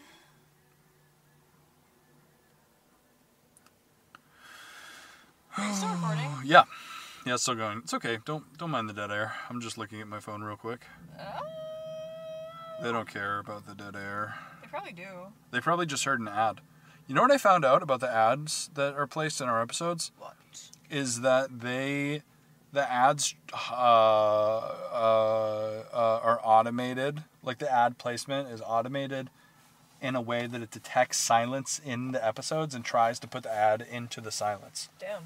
Well, it so doesn't do a very good job. Sometimes it's in the middle of my sentence. but the problem is is it's actually a problem on my part as the editor because I actually found out a little bit of podcast engineering information that podcast producers actually uh, splice in small silent little interludes that aren't really noticeable to the listener when there aren't ads but for static ad placement Oh. to Trick to to yeah to you to to guide the automation into putting the ad into that little silent spot. Huh. So I might try to see if I can be if I'm if I'm smart enough to do that. I'm learning how to be a better podcast producer so that I can live up I think you do a great to job. the to the whole idea. beep beep beep beep bop boop. Gotta check my bank account. Make sure I'm not about to fuck myself. I am fucking stupid. I fucking love podcasting. You know what I realized? I've talked in the past that I said in the past that like, oh, like I'm a fucking idiot. I listen to like 78 hours of podcasting every day. Like, why am I listening to so many podcasts? I'm such a weirdo. Yeah.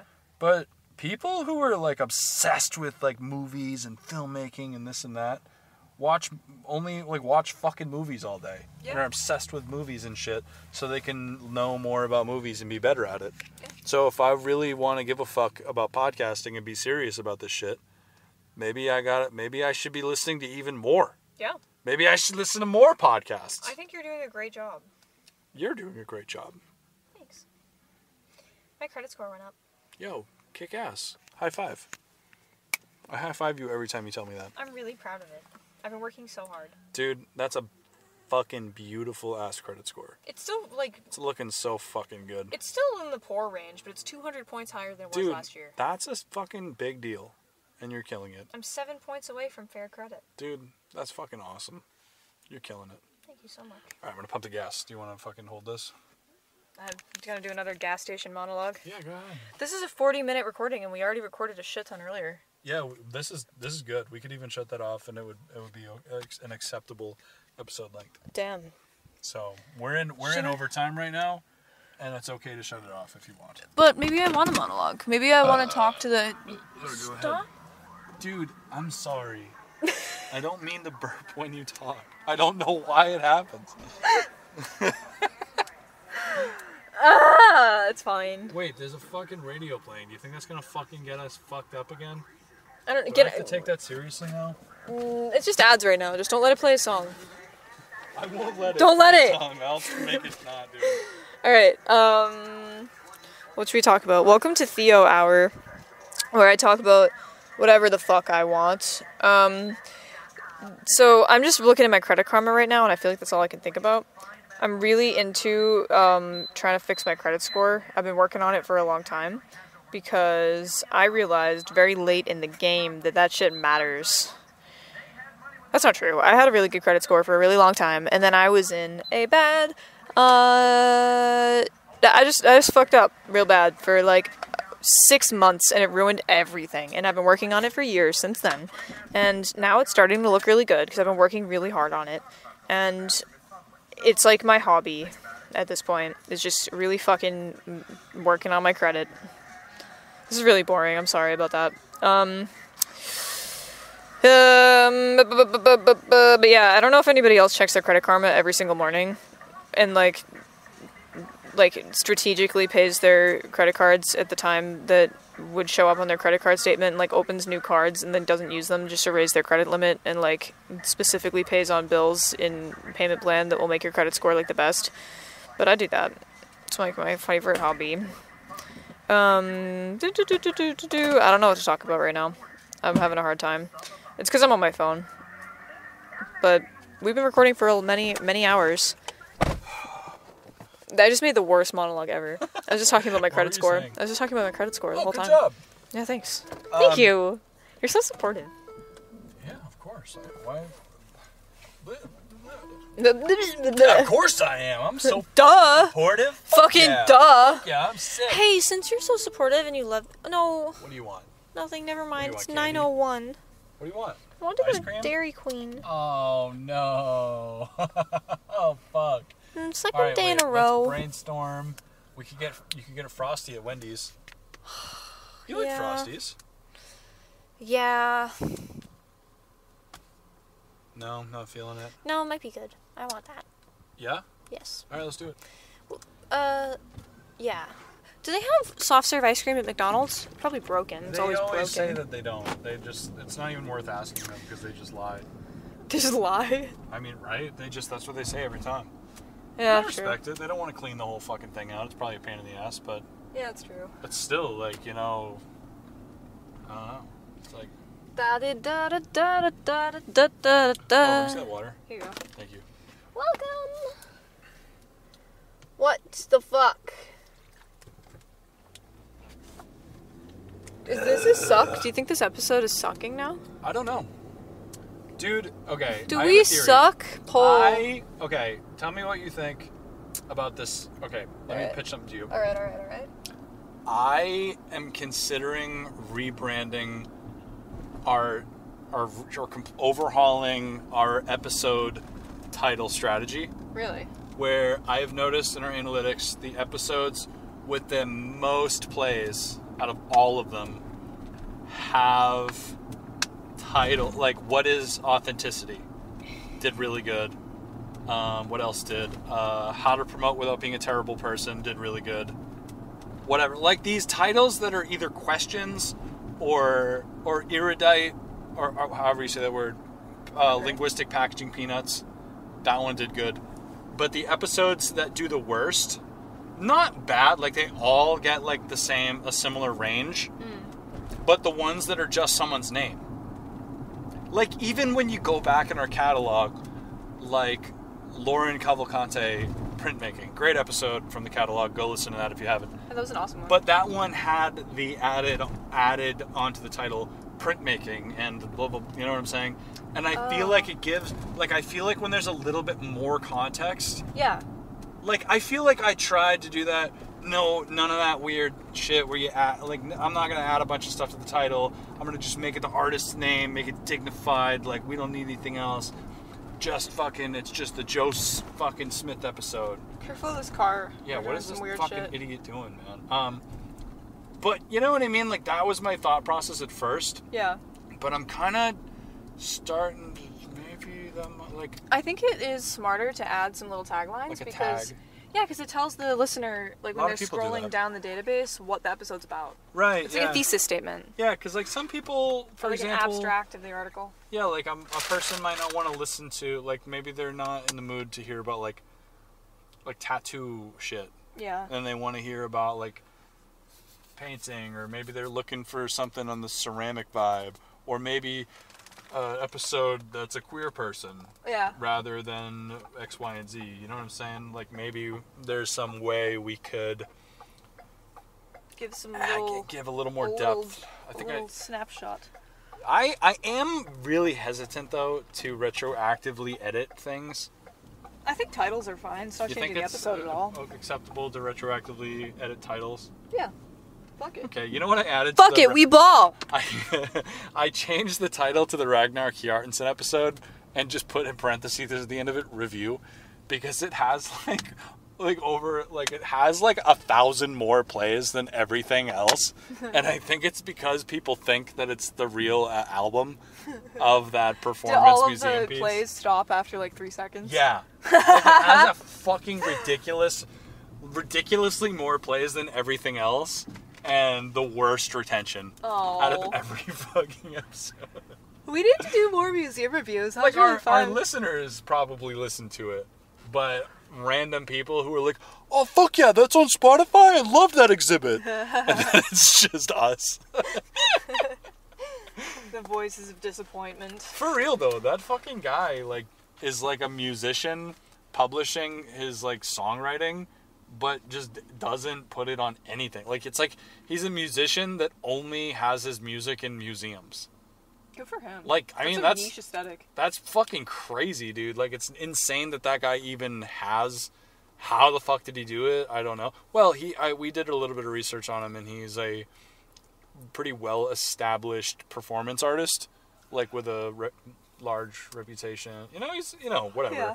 Kind of like what we talked about in the episode earlier. Like it's actually similar to what we talked about in the. He's actually a good example of that, where he's somebody that literally doesn't have an Instagram account, doesn't have any social media, anything. His music that he is known for isn't even on anything. Yeah.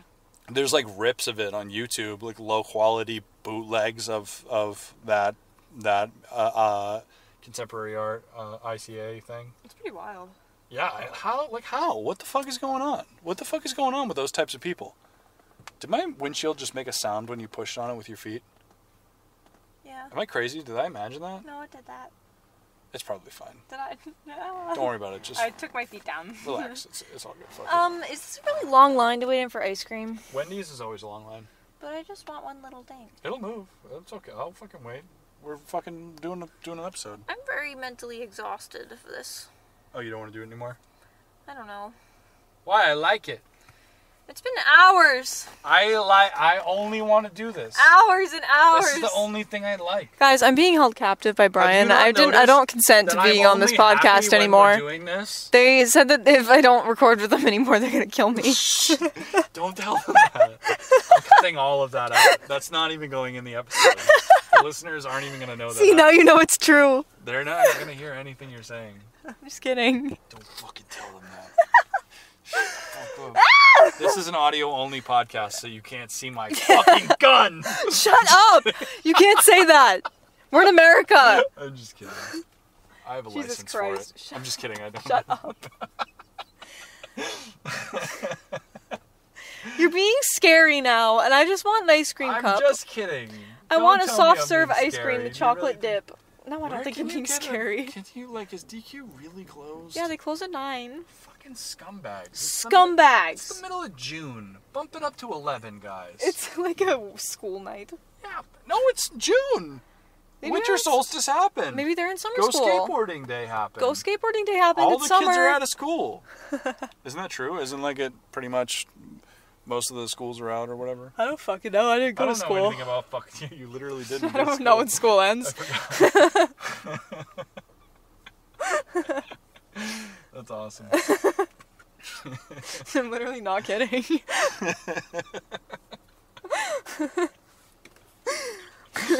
Uh, wow. I used to be such a douchebag about that too. It would be like I didn't May. Go to school. No, not that. I don't care. I would be like May, and my friends would still be in school, and I'd be like, "Oh, sorry, can't relate. I'm not in kid jail." You used to say that? yeah. I'm not in kid jail. That's awesome. wow. You know what's kind of funny? As the podcast grows, I wonder if we will eventually cultivate like a, a like a homeschool adjacent audience, That'd be weird. like people who maybe maybe they just know about it, uh, so that so they like relate to you. I could be a they homeschooling like- celebrity. Like they're, they're like, hell yeah, I like Theo. I'm fucking into homeschooling, so they like, you know what I mean? so they like tune in because of that vibe. I wonder if my public image is like pro homeschooling. I think only with the podcast. I think if you don't listen to the podcast, the people, all- I think our listeners would know that because you've talked about it.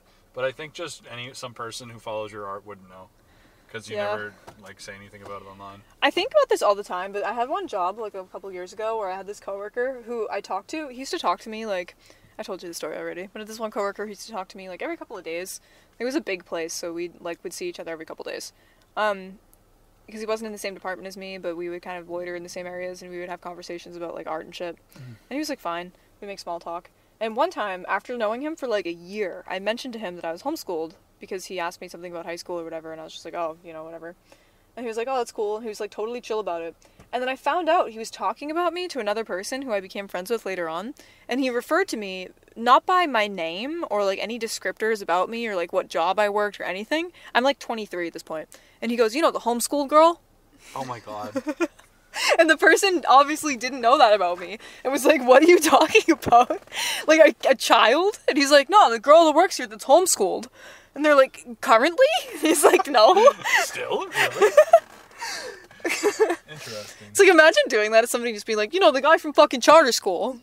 Oh yeah, that fucking private school guy. Yeah, like, What, bro? oh my god. Oh anyway, he got fired for misconduct. Oh. Shit. Don't. Oh. Whoa, Um, did you know you can get a fucking 50 piece nugget from Wendy's? That's Look at that crazy, sign, it says bro. 50 piece nugget. That's some sleepover shit. Dude, that's like depression order. Like that's like no, I'm, no, no, no, that's I'm like about a- to jump off a fucking bridge order. Uh, no, that's like for a I'm sleepover. That's Okay, like you hanging out with your friends watching Okay. movies, and your mom comes home with a fifty-piece nugget. I was imagining myself showing up here at 2 a.m. and ordering that alone and then crying while I'm I telling eat you, it. dude. I said this to you earlier off the air, but you're being wicked fucking negative today. Am I really? You are. Shit. Sorry. We're driving, and you're just like unalive to a random person on the air, mind you. That was on. That the- was on the air, and you're not gonna edit it out probably. Is that that bad? Yeah. Yeah, it is. Okay. I. I take. I, I take. This is my public apology. I'm sorry. That probably isn't the right thing to say. I shouldn't say that. That's not funny. Um, what the fuck? hey, Stop and Shop gas is cheap. Uh, no, I think that's one of those fake that, that's lying. You need a Stop and Shop card to get They're their free. cheap price. Stop and Shop cards are free. Yeah, but I don't fucking have one. Just go to the counter and ask for one. No. I every time any store clerk says, "All right, so do you want to get like you want to sign up for this thing?" I'm like, "No, no, no, no, no, I have like three. no, no." It stresses me out because like one time when I was like 18 or something, like I was just a dumbass, and I was at Home Depot, and the lady at the counter was asking me to sign up for a Home Depot card, and I thought that it was like just one of those stupid like card things. Oh, and there's But a it was credit, a credit card. card. Yeah, they don't And tell I you got, like sometimes. halfway through signing up for it before I realized that I was signing up for a credit card. It's I like, why like, am I giving you my like, social? why do you need my routing number at my bank? Anyway, or whatever the fuck. What do you want? I want ice cream. Okay. That's it. Like a medium vanilla frosty. Chocolate. You want chocolate? Can I do a twist? Is that a thing? I don't know. Ask. I will. I love you. I love you. Can you buy one nugget? Probably not. Why not? They, they imagine if they sold nuggets the way that Dunk sells Munchkins. No problem. Like in like a little bucket. No, where you could just buy one for like fifty nine cents. You can buy one munchkin? Hell yeah, That's a weirdo move. I've done that. You bought one munchkin before? What are you gonna do with one munchkin? Just take a little bite? You know what I actually did? This is such a shitbag story. But I think I was at a Dunks where you couldn't use the bathroom unless you were a customer. And you bought one? So I bought a munchkin so I could use the bathroom. That's a very Brian thing to And do. they were like, "All right, Fine, here go." douchebag. Yeah, it was like it was like really uncomfortable. See, this is what I mean, like what we were talking about earlier. Hi, um, do you guys do uh, uh, a frosty, but it's vanilla and chocolate? Um, my frosties are now chocolate and strawberry. Oh, you only have chocolate and strawberry. Chocolate then. Okay, could I have a medium chocolate frosty? Anything else? No, thank you. That's all? Yep. Gonna be two seventy-seven. Drop out, please. Thanks. She's like, that's really the only thing you came here for. That's it. You just fucking waited here and wasted my fucking time just so you could buy something for three dollars. you fucking asshole.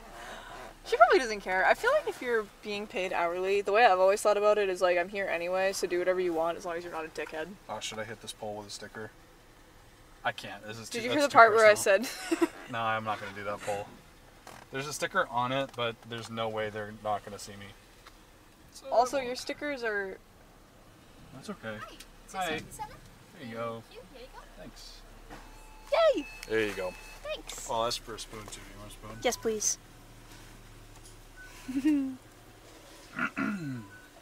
the best. Hey, can I get a spoon too? We actually don't Oh, have any spoons. I can offer you a fork.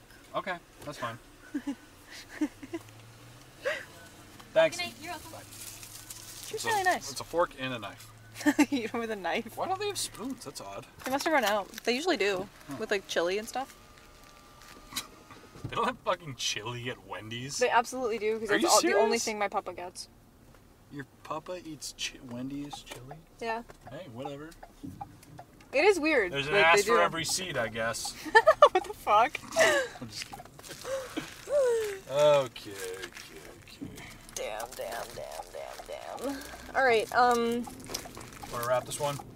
maybe, yeah. Cap this one off. It might be time. Got two in the bag, two in the chamber, ready to go out. Got to schedule more interviews, guys. Anybody listening? Um, I don't know. what do we do? Reach out to us if you want to be on the fucking podcast. you know if you what? are interesting and can talk, we will literally talk to you, probably. The hard, maybe. I'm That gonna tell everybody yes, and then if I don't That- answer you, I don't answer you. that's a hard maybe. Fill out the No, form. most people. Hit up the Linktree. Fill out the form. We love the submissions. We get a lot of good ones, but sometimes the submissions are just fucking fucked, man. Can I talk about the one we got this week? You think it's fine? Don't be too specific, but yeah. I mean, I, I don't fucking care. So we got this this suggestion.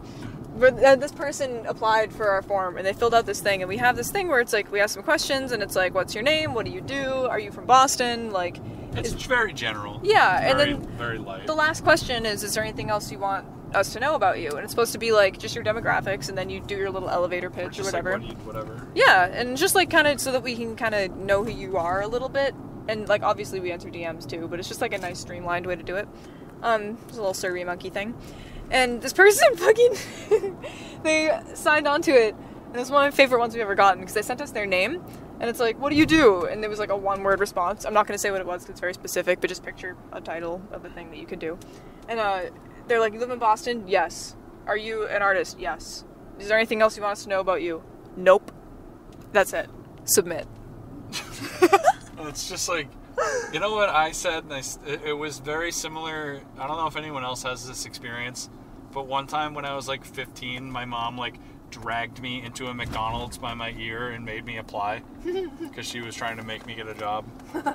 and I like basically filled out the shittiest, most low effort job application ever, where I might as well have just like sent in a blank one. Yeah, it was funny. I got the job too, and I worked there for like two weeks, and then I quit. Did you put in a notice? No, I just fucking quit. It was because I was unbelievably bad at it. It was giving me horrible anxiety. I was completely unteachable, and yeah, I just was not capable of, of having a job at McDonald's. I just really couldn't handle it. Was this around the same time that you got in that guy's car? No, this is like a year later, probably. Probably less than a, maybe a few months after that experience. really funny. Yeah. Probably like the winter after that. Yeah, because I think I was like four or five months sober when that ordeal happened, where my mom made me. So I wasn't 15, I was 16. But yeah, so. Yeah.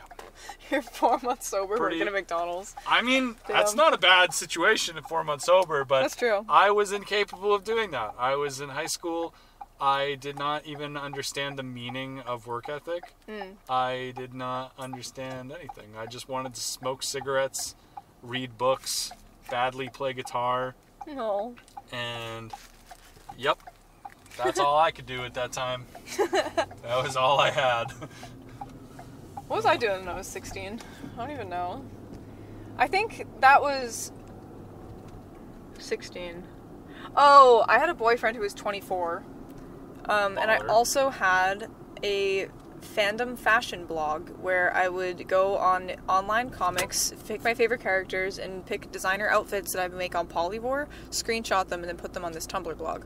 Love that. Those are the two big things I had going on in my life. Oh, you could see the TV in the window of that funeral home. They're watching They're an watching- eyebrow threading ad. That was really weird. I always forget that people live in the upstairs of the funeral home. That would be so scary. Well, I think the people who live there are affiliated with the business. Yeah, they're probably not that They're afraid of corpses. like, yeah, whatever. So, are there bodies in a funeral home all the time? That is a question that I don't know. That's definitely true in movies. I, I believe the movies. Hey, do you want to watch a movie tonight? It depends what movie. It's my turn to pick. Fuck. Ex- It is. Rude. Shit. I I'm just kidding. Usually we pick- stayed up till two in the morning watching your movie last time. All and it was a good movie. this is a new thing we're doing, where because we all of the shows that we really like to watch are in between seasons or or are over or whatever. Yeah. So we're intentionally not starting a new show, and we're trying to temporarily only watch movies because we got away from movies, man. We Yeah. just don't watch movies. any I don't watch movies ever. So Sometimes you just need a deep one shot, like two hours in one little universe. you just need one. Yeah. Like sometimes you maybe you shouldn't watch, you know, 95 hours of something. Yeah. Maybe not. One thing about us that I think is really funny that maybe the people that know us in real life know, but Yeah. actually, now that I think about it, maybe nobody knows this about us. What is it? that the same intensity that we apply to like art projects and stuff, where we'll just like go like balls deep on some like random project. What was that weird when you say that? That's just funny. Go ahead.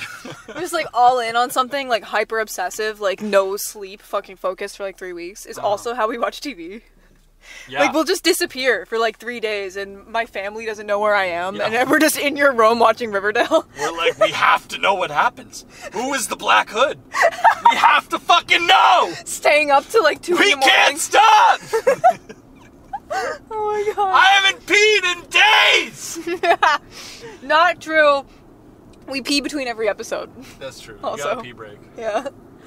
I also pee every time I eat, right before I eat. It's true. It's a, it's like literally without fail. Every time you eat, you go pee. To the point where now when we cook, I'll be like so focused on cooking, and then we'll be almost done, and Brian will be like, "Go pee, you have to pee," and I'm like, oh, "I do," and then we eat dinner. And then we eat. Um. Shit, dude.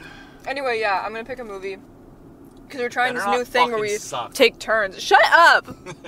We've only done two. We watched Les Les Mis or Mm-hmm. Les Miserable or whatever the fuck it is, and then we watched. You watched Les Miserables for the first time in 2022. I had never seen it, Shocking to me. and then we watched. My pick was The Big Short. You complained to me that I only pick uh, Blue tinted boy movies. blue tinted boy movies about money and guns. and it's true. I do like that kind of movie. I thing will. that I think I is- admit it. The That's reason what I like. I get a kick out of myself though, because the thing that's funny about that is I can't even name any examples of a time you've made me watch a movie like that. But I, when I'm alone, And The Big Short doesn't apply to that either. the Big Short's close to that. It just doesn't feature guns. It is- Mm-hmm. It is in the category of blue tinted money movie. It isn't a boy movie though. For anybody who have no idea what I'm talking about, I mean like Ozark, Wolf of Wall Street. I don't know, My- Blinders. my favorite I like thing- that shit. Cut me a fucking break. My favorite thing to do lately is like- unnecessarily gender things. I think it's hilarious. Yeah, I like some stereotypically gendered things. Mm. It's all right. I'm okay with it. I like it. I like a shoot 'em up, jump through the wall while shooting a gun, like jump the shark type shit. You know I'm what's a really it. good one that isn't necessarily a boy movie? Um, the Mad Max that came out in like 2014 or whatever. That's a good example. good fucking movie. I actually haven't even seen it. You haven't all. seen it? The newer Mad Max from like 2017 or whatever. I I love just that straight shit. up missed it. So good. I fucking love that movie. Isn't there a guy that is addicted to a, like huffing spray paint in that movie? Um, it's not just one guy; it's They a bunch do of it? them, and they're not necessarily huffing. It's like a thing they do before they go into battle. Like they spray paint their face silver. Can you imagine doing that? Well, I mean, in like post-apocalypse, it's probably not that bad. You know what I did one time when I was like 12? What? I just stabbed uh, a spray paint can with a knife, and it sprayed like all over my face and hands and shirt. The more we talk about you as a teenager, the less surprised I am that you weren't into Les Miserables. Why would that's like a theater kid thing? I was like not even. I like- was a theater kid. I was associated. I wasn't a theater kid, but I was. Kids. Like I knew the theater kids, but I wasn't like walking in the halls singing and shit. I probably would have been a theater kid if I went to school. Surely, yeah, I I'd, I could see that. I didn't go to school, so I didn't do that. But I was friends with a lot of theater kids. I I was originally hung out with like drugs kids, like smoke in the bathroom, drug people, and then after I stopped doing that, I didn't know where to land, so I d- I just became friends with the anime people, Oh, and I was like uh, I was like chilling at the Naruto headband lunch table. No, n- with love and respect, obviously. so the anime I don't, kids. I don't really watch anime personally, but that was my crew. I wasn't. I didn't watch anime either, but I was always friends with like D and D kids and anime kids because a lot of other kids, like, it's not really that big of a deal now as an adult. Like that story I just told about that guy who was weird about it. That guy's an outlier. Like most people don't give a fuck that you were Right, homeschooled, yeah. or they think it's like funny if they do. But when you're a teenager, people are d- dicks about it, People, and there are a lot of kids that are like quote unquote normal kids that just won't even talk to you because they think you're a freak, just because hmm. they know you're homeschooled. Yeah. So anime kids will hang out with you. Dude, yeah, anime kids are like the most accepting. Because anime kid at the time was code for like this is the gay table. Yeah, Everybody here is bisexual. that's true. I was Table. also I was also a little queer kid. Yeah, it was like the GSA group, the anime club. There was no GSA club anymore. There was just the anime club. Anna gays. Nice. All right. Has this has this one reached its conclusion? You think? Yeah, this sucks. Let's go watch a movie. All right. Wow, this is like accidentally a long one when I was hoping that we would be able to just piece together three separate 20 minute recordings. This is gonna be like an hour, two hours long. Yeah, this is just actually a long ass one. So, yo, you know what would be a psychotic pivot for the show? We that we probably- 24 hour live stream. That would be fucked. But we'll probably never do this, but can you imagine if the day came where we just said fuck it, no guests? Ever again? Yeah, we just said fuck guests, no more guests. No, I like guests. I do too, but like, imagine what would our show be like? It would probably be significantly harder to create. It would be like how it was before we had guests. We did that for a while. But I'm talking about leaning in. Oh, I'm not talking about we kind of felt bad about the fact that we didn't have guests. Mm-hmm. Whatever. All right, guys. Thank you for listening. fuck it, we ball. Here's Theo. Fuck it, we ball. Here's Theo. Here's Theo's piano outro. You have a piano outro on every episode now. I have a piano outro. Yeah, it's like really beautiful piano music that starts playing, is playing right now while we're talking. And then when we're done talking, it's going to have you say the outro. Oh, I thought you meant that I was playing piano. I was like, I don't know how to do that. When No. did I do that for you? Nope, it's just a GarageBand loop. Oh, nice. Hell yeah. All right, bye guys. Bye. Boston Art Podcast is an independent DIY production by Brian Huntress and Theodora Earthworms. The information contained in this episode represents the views and opinions of the original creators or our guests and does not represent any institution, organization, or business. Find us on Instagram at Boston Art Podcast and tune in for a new episode every Friday. Thank you for listening.